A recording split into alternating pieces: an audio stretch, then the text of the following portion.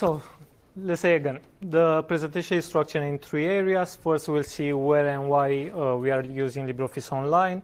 Uh, the second one is a more technical section describing the solution, the deployment and monitoring of LibreOffice Online. The second uh, section is uh, we'll go through a list of contributions that one and one made open source uh, for LibreOffice project. For first, a couple words uh, about one-on-one Mail Media. Uh, one-on-one Mail Media offers email cloud and identity services for more than 30 million active users in Europe and North America. Uh, one-on-one Mail Media is part of United Internet and it is composed from four brands, GMX, WebD, One-on-One, and mail.com. You can find LibreOffice Online in three out of four brands. You can find in uh, WebDE, GMX, both international.com and uh, .net, and uh, mail.com. Current version of LibreOffice Online that you can find in these uh, portals is 6.2, but we are in the middle of upgrading the, the version to 6.3. Uh, now that uh, we know where we can find LibreOffice Online, let's see why. Uh, as I said earlier, uh, One Mail and Media offers cloud and uh, email solutions. So most probably we'll have files in the cloud and attachments to the emails. Due to this, we've needed a way to preview the files quickly and to edit them without leaving the portal. So without using an application like Microsoft or having to install LibreOffice uh, on our uh, workstation. Yeah. Uh, the solution created using uh, LibreOffice Online to preview and edit files is called Online Office Editor. This is the landing page of the application, which offers some complementary features like uh, creating uh, files from predefined templates, previewing your most recently edited files, uh, browsing through your uh, cloud documents in order to open them for edit, and one of the most uh, the first uh, features from Online Office Editor, uh, upload from local. This feature allows you to select a document from your local workstation, upload to Mail and Media Cloud, and start editing it through LibreOffice Online. So after we select the file, click open, the file is automatically added to Mail and Media Cloud in a specific directory. And the view of the application of online office application will change and will look like this. As you can see, the file has been added in the left sidebar in the list of open files. Uh, currently, we offer a, a maximum number of five documents for a user to edit at the same time. And in the center, an iframe uh, has been opened, which loaded LibreOffice Online uh, Loleaflet component, which allows us to start editing the file. You can find the same look and feel in both in GMX uh, portal. Here we are editing a spreadsheet file. Or in mail.com. Here uh, we are editing a presentation file. Uh, besides upload, I want to briefly mention one feature uh, that allows the customers to create, to quickly create files from uh, predefined templates and start editing them through LibreOffice Online. Uh, what's worth mentioning is that uh, all these predefined templates are in uh, ODF format, and currently they are available only for German brands like GMX and WebD. So this is the what I wanted to present for the first section. If we sum, summarize, there are two important ideas to remember. First is that you can find LibreOffice Online in GMX, WebD, and mail.com brands you can find the 6.2 version of it. And the second idea is that you can leverage upload from local or templates feature to quickly create files or to upload files to Mail Media Cloud and start editing them through LibreOffice Online. Going on to the more technical part of the presentation, we'll present the system solution of Online Office Editor uh, uh, application while focusing on how we've deployed LibreOffice Online in Kubernetes and also how we can monitor uh, LibreOffice Online instances in Kubernetes using Prometheus and uh, Grafana. Uh, Online Office Editor uh, is composed from high-level modules, as you can see here in this diagram. Uh, we have the front-end components, which is uh, the landing page, custom component from Online Office Editor. Uh, as I said earlier, this, uh, this component allows the users to create documents, to, to quickly browse to the most recently edited files, to browse through cloud documents in order to edit them, or to upload new documents in cloud. So offers uh, some features uh, com complementary uh, for those of editing. When we select a file for edit, Loleaflet component is open in a separate iframe, which allows us to start editing the file. Uh, these are the front-end components. Uh, moving on the back-end side, uh, we have a middleware, which uh, acts as a proxy for HTTP and WebSocket uh, requests uh, between the front-end clients and the LibreOffice Online components. Uh, it is also responsible for authentication, uh, load balancing, and session management. Uh, we have, the, of course, the LibreOffice Online component that allows us to, to edit files.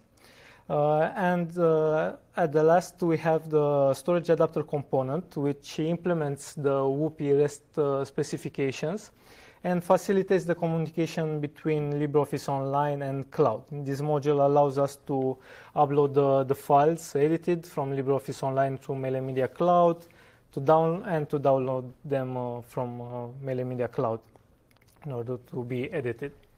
Uh, what's important is that all online office editor modules are uh, deployed uh, in uh, Kubernetes, which allows us to scale uh, the modules of the application based on our needs or based on uh, the traffic that our application receives.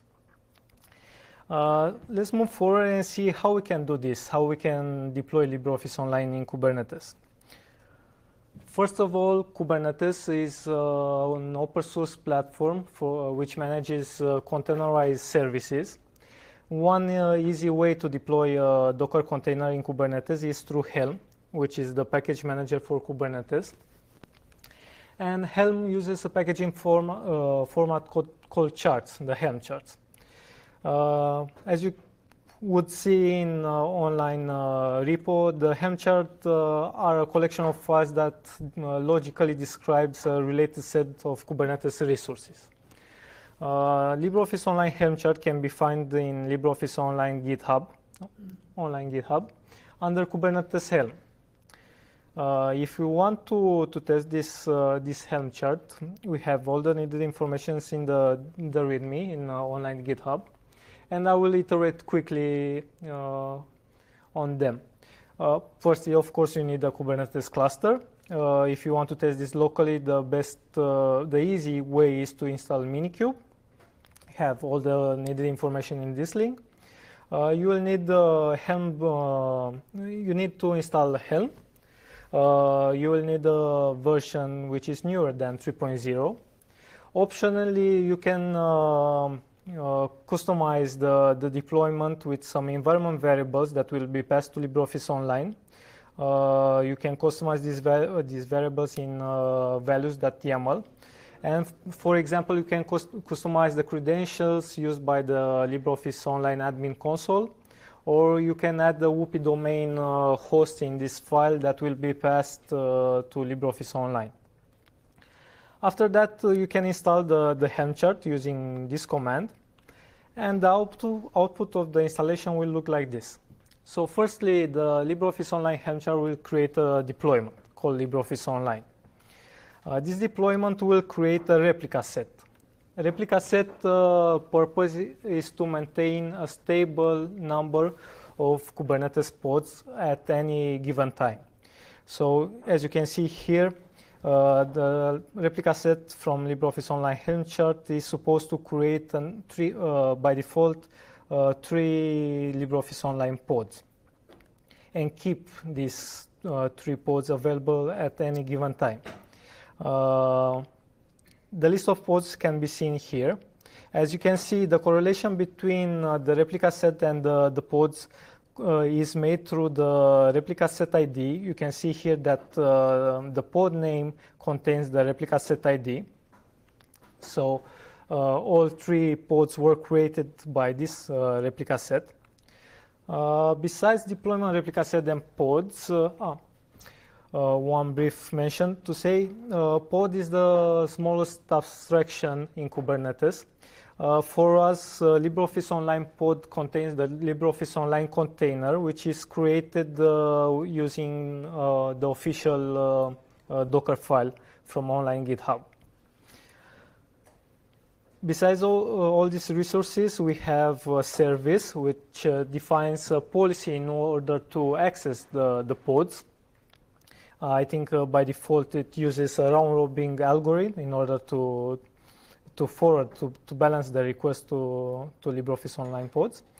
And one important resource that uh, we at uh, One and One Media, we are using it, uh, is the horizontal pod autoscaler, which allows us to, to scale the number of uh, LibreOffice Online instances based on some uh, needs.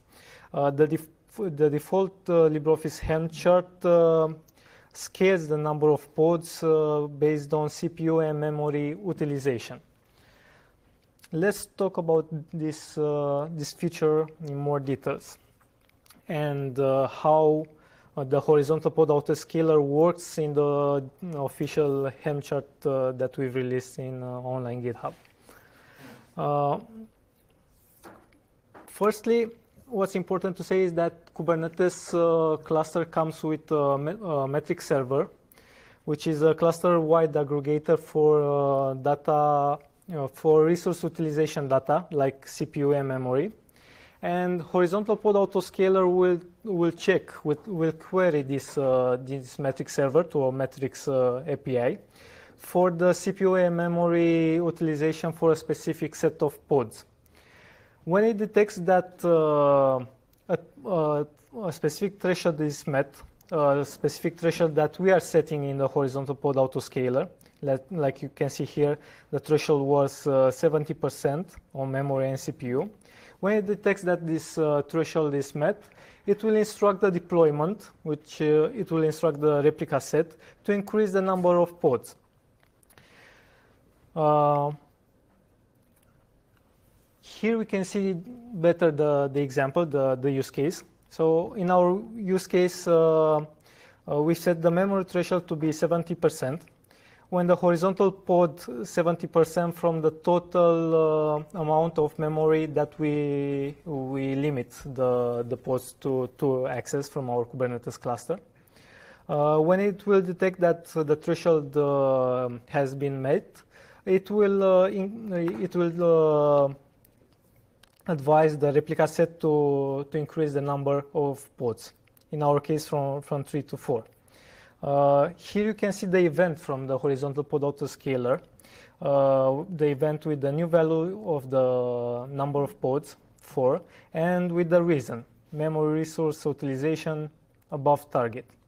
Uh, you can see the, the target and the current uh, memory utilization here in the horizontal pod autoscaler. So the target was 70% and uh, the current memory utilization was 80% the horizontal pod autoscaler instructed the replica set to, to increase the number of pods. Here you can see that the new number of pods, the new desired number of pods is 4. And actually in the list of pods, you can see that the LibreOffice Online, a new LibreOffice Online instance is created. That will help us to, to adjust the traffic, the new traffic that we are receiving. Uh, what's worth mentioning is that the horizontal pod autoscaler, the resource from Kubernetes, could be updated in order to use some specific metrics, metrics that uh, we are interested in.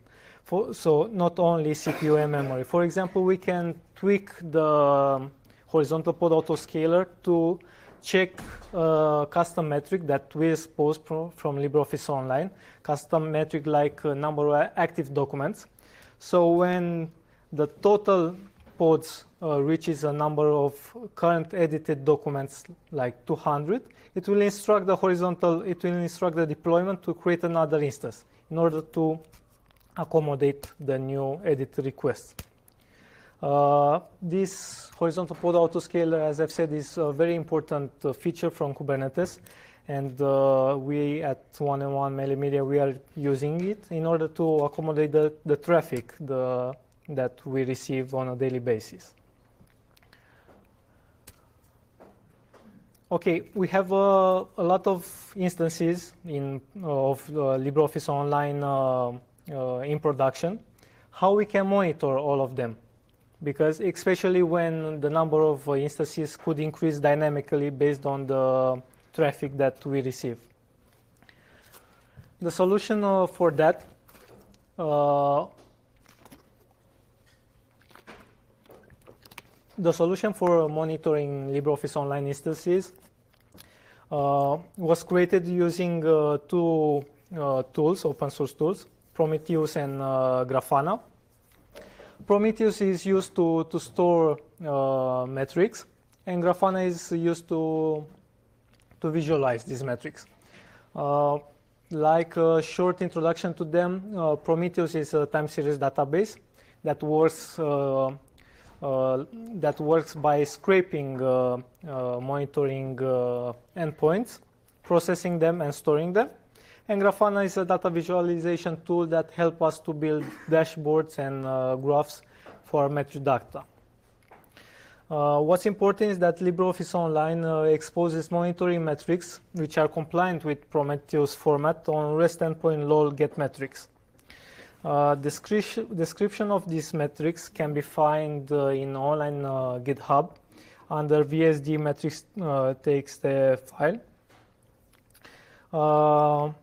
There are a lot of metrics. Uh, some of them are related to, to the global system, to the global memory available. Some of them are related to the process count, for example, for uh, uh counting the processes of uh, LOL-VSD, of ForKit, or uh, for kits. And there are some document-specific uh, metrics like document upload duration, document download duration, the number of views for a document, and so on. You can find all the, the metrics with uh, their description uh, in this uh, file in online GitHub. Uh, based on these metrics, we can define in Grafana dashboards that will look like this. For, so uh, in these three examples, we are counting uh, the number of processes that LibreOffice Online started. as you can see, we have the LOL VSDM ForKit, which should have one process at any given time. Then we have the, the kits. Uh, from this dashboard, we can see, we can deduce the number of edited documents, for example. Uh, and uh, yeah, we can construct uh, a lot of dashboards. Grafana offers uh, us a lot of uh, features in order, in order to construct the dashboards. it only depends on what metrics we are returning from the get metrics REST endpoint. Also, we can define alerts in Grafana that will alert us, uh, I don't know, when there are two LOL-VSD process instances on the container or something like that. Uh, if we sum up this, uh, this section, there are three important details uh, to remember is that you can uh, deploy LibreOffice Online in Kubernetes using uh, the official LibreOffice Online Helm chart that you'll find in online repo. You can leverage the horizontal pod autoscaler to scale the number of LibreOffice instances based on your needs. As I said, CPU, memory, or uh, a number of active documents. And you can monitor all these uh, LibreOffice online instances uh, deployed in uh, Kubernetes uh, using Prometheus, Grafana, and the REST endpoint that returns the metrics uh, in Prometheus format. Uh, reaching uh, the end of the presentation, I want to iterate a little bit through the contribution that One and One made in the past year. Uh, what's next, our future contributions that we want to open source. So One and One Media started to, to contribute to LibreOffice uh, online project in February last, uh, last year. Uh, our first important uh, contribution was related to WebSocket defragmentation on how we can manage uh, defragmented fragmented WebSocket messages. we've open sourced some cross-site scripting fixes on Loleaflet component. also, we've done some library updates on Loleaflet. Um, we've discovered and reported a CVE related to LibreLogo. After, after uh, the uh, LibreOffice online conference from this year, we've open source uh, an improvement in uh, to support uh, TLS for communication with, uh, with storage. We've open sourced the REST endpoint for admin metrics, which allows us to, to, mo to monitor the LibreOffice online instances with Prometheus. And we've open sourced the Helm chart for deploying uh, LibreOffice Online application in Kubernetes. Uh, what's uh, next on short-term goals? We want to uh, open source uh, segmentation fault uh, monitoring enhancement with a new metric for segmentation fault crashes count uh, that will allow us to, to monitor the crashes uh, inside the LibreOffice Online. Uh, also, this will impose a change in the communication between LOLBSD and Forkit through Unix sockets. And also, we want to open source CDN integration in order to allow the plugin of a CDN, a content delivery network, for serving uh, stat uh, static uh, files. all in all, online office editor will not be made possible without the full contribution from open source community. So saying that, I want to really uh, say a big thanks to LibreOffice community and to all the patches that you, you contribute. Uh, yeah. Saying that, I want to thank you for listening and I'm open for questions if you have.